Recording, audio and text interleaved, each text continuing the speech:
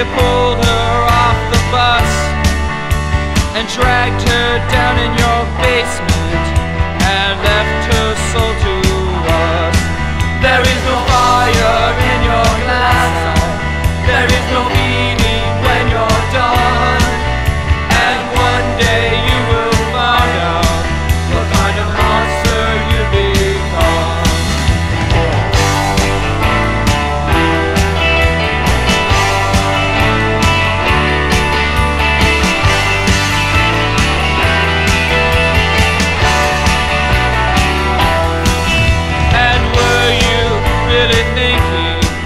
when you got wild.